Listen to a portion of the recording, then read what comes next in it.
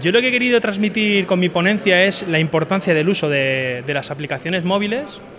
eh, la, importancia del geoposicionamiento en las redes sociales, el posicionar tu negocio en un sitio concreto y de que tenemos que, también que es súper importante pensar en grande, pero ejecutar en pequeño. La importancia de pensar en grande, pero trabajar punto por punto con objetivos muy concretos para llegar a, a una meta más, más grande, más elevada.